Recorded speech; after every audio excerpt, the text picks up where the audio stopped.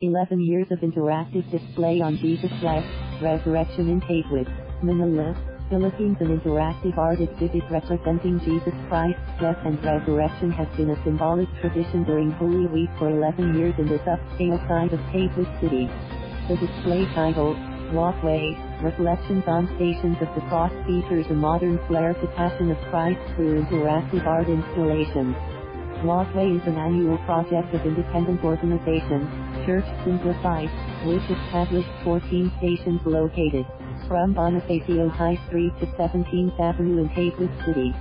Bebo Bharwani, pastor of Church Simplified, explained that this year's exhibit has a theme of Remember how he left Flair Graphic Christ right Flair Graphic List for us, which focused on the impact of Christ's death on Filipino lives.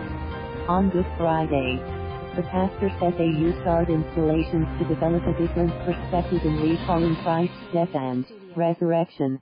Part of why we use art to engage is because art has a way of breathing new life to these messages that we are all familiar naming. It takes someone to point a different perspective so we can appreciate it again, he said.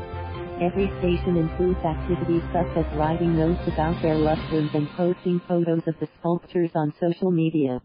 The 14 stations are, the truth, the present, the rumor, the giver, chances, the child, the scapegoat, the stranger, the feminist, the healer, the innocent, the friend of sinners, the pacifist, the teacher and the failure. Historic value aside from reflecting during the exhibit, it also educates visitors on history such as the politics during the Roman Empire, which is installed at the first station. Station 1, you are greeted by the Roman it the tone for during the time there was revolution people wanted to rebel against Rome so there was politically just talk, Bharwani said. Bharwani also said memorial stones were featured for national heroes who died without seeing their fulfilled dreams such as national hero Jose Rizal. We have memorial stones for people who died without seeing their dreams come true. We have a memorial to Jose Rizal. He wrote all of these books but didn't see the day that Philippines was liberated, he said. Notable activities One of the interactive stations was Station 13, The Cruise, which allows guests to appreciate a person in their life who they think has often been overlooked by riding on a car to honor them. The cars will be displayed on a red rack using a flow testing. If we open our eyes, we will see there is potential to discover God in the everyday moments we share with others, the description on the station read. Meanwhile, at Station 10 or the child, a heart-shaped sculpture with photos of families were displayed. The station encourages people to pray and reflect about their family members, even if they have strained relationships with them.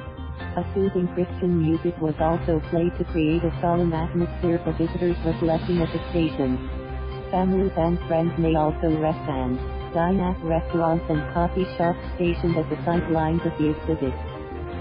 Around 18,000 to 22,000 visitors are expected to experience Walkway every year to reflect on the death and passion of Christ during Holy Week. The interactive display on the Stations of the Cross is open from April 14th to April 21st at 11 a.m. to 11 p.m. Bar Bharwani also invited the public for a free Easter concert with local musical artists Urbandub, Unique, South Border, Barbie Almalbis and I of Leon to be held at 6 p.m. of April 21st at the BHS Amphitheater in Taguig City. Last, Thank you for watching. Please subscribe.